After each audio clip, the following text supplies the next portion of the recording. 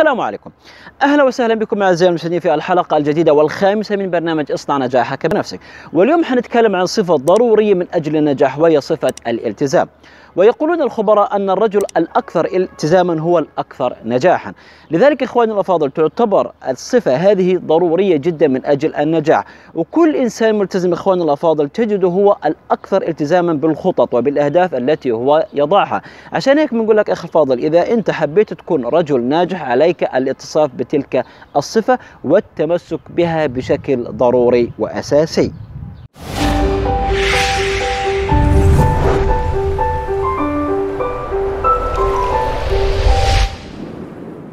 ولماذا اخواننا الأفاضل الرجل الملتزم هو الأكثر نجاحا؟ لسببين، لأنه اخواننا الأفاضل بيكون هو الأكثر قدرة والصبر على حل المشكلات والالتزام والعمل على حلها، أيضا هو يكون الأكثر التزاما بتنفيذ الخطط التي وضعها لنفسه، وبالتالي سوف يحقق أهدافه، عشان هيك بنقول أكثر الرجال نجاحا هم الأكثر التزاما.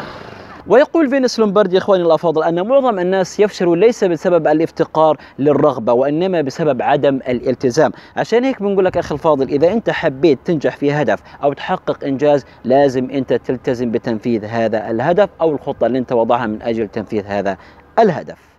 ويعتبر أيضا الالتزام هو أحد مبادئ النجاح، لماذا؟ لأنه يؤثر على طريقة تفكيرنا وسلوكياتنا والإجراءات اللي إحنا بنتخذها إخواني الافاضل، فمثلا يعني لو أنت حبيت تعمل نظام يعني جديد أو عادة جديدة أو تطبق مثلا نظام رجيم على نفسك، فبالتالي سوف تعمل على ترك العادات السيئة في الطعام والعمل على اكتساب عادات صحية جديدة، عشان هيك إحنا بنحكي مدى نجاحك في الرجيم أو فقدان الوزن يعتمد على مدى التزامك بالعادات الصحية في النظام اللي أنت وضعته لنفسك.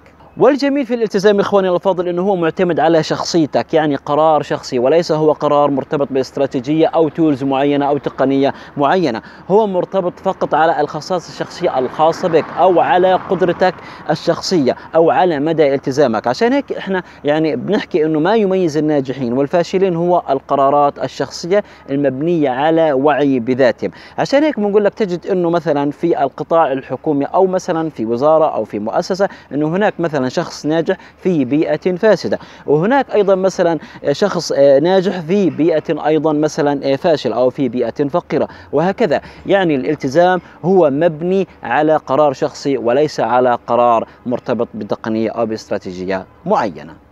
وخليني أخي الفاضل أوضح لك بعض التقنيات الخاصة إنه أنت تكشف نفسك هل أنت شخص ملتزم أم لا؟ هل لديك الاستعداد إنه أنت تكون رجل ملتزم أم لا؟ هذه الأسئلة جاوب عليها وحتعرف إنه أنت شخص ملتزم أم لا. واحد هل لديك أهداف؟ هل هذه الأهداف واقعية؟ هل أنت دائما لديك الحماسة والنشاط والدافعية والتحفيز إنه أنت تشتغل من أجل هذه الأهداف اللي أنت وضعتها لنفسك؟ هل هذه الأهداف واقعية؟ وهل أنت بتحب تعمل من أجل هذه الأهداف وعندك شغف وحب إنه أنت تقوم تشتغل هذه الأهداف؟ وهل تركز من بين أعمالك على هذه الأهداف في نشاطاتك الرئيسية؟ إذا كانت إجاباتك بنعم فأنت لديك الاستعداد لأن تكون رجلا ملتزما. وخلينا أحكي لك أيضا أنه أخي الفاضل هذه الأهداف لازم تكون يعني على المدى الزمني الطويل وتكون واقعية وتكون يعني حقيقية وأنه أنت تشتغل بإخلاص فيها. إذا كانت هذه الأهداف موجودة وأنت بتشتغل عشانها فأنت بعتبر أنه أنت إنسان ملتزم أو بتقدر تقول أنه عندك أخي الفاضل استعداد للالتزام ولصفات الالتزام وبالتالي النجاح. وهناك عبارة رائعة قالها أحد المحفزين تدل على الالتزام. لو اتصفت بهذه الصفات أخي الفاضل هذه بتدل على أنه أنت شخص ملتزم. وهي اعمل بينما ينامون. تعلم بينما يحتفلون. ادخر بينما يصرفون. ثم عش كما يحلمون. لو أنت اتصفت بهذه الصفات أنا بأكد لك أنه أنت رجل ملتزم. وخليني أختم معك حلقة هذا اليوم أخي الفاضل بنأكد على أنه الالتزام هي صفة ضرورية ومهمة جدا لأي رجل ناجح. وخليني أحكي لك أيضا أنه هذه مهمة جدا وصفة لأنه تتجاوز العثرات والإخفاقات والمشكلات اللي هي بتواجهك. وخليني أحكي لك تكنيك أو علامة رائعة تدل على أنه أنت شخص ملتزم أم لا. الشخص الملتزم إخواننا الافاضل إذا واجهته مشكلة أو عقبة أو فشل دائما هو يبحث عن الحل ويجد البديل ويعيد يعني التصور لهذه المشكلة ويعمل على حلها ويتجاوزها بسرعة. بينما أخي الفاضل الرجل الغير ملتزم دائما بيذهب ويبحث عن المخرج والملاذ الآمن ومباشرة يخرج بسرعة من هذا المأزق عشان هيك بنقول لك هذه صفة ضرورية وبتميزك أنه أنت رجل ناجح أم لا. ودعني أختم بشعار مهم جدا أخي الفاضل أنه الإنسان يجد عما يبحث عنه. إذا أنت بحثت عن السعادة سوف تجدها بحثت عن الرخاء سوف تجده بحثت عن الوفرة المالية والاستقلال المالي سوف تجده. إذا بحثت عن الكآبة والفقر والحزن سوف تجد أخي الفاضل. فخلي شعارك دائما أنه أنت تجد الشيء الرائع والشيء اللي بحقق لك أهدافك. وأشوفكم في حلقة جديدة وفي فيديو جديد. وانتظرونا في الحلقة القادمة.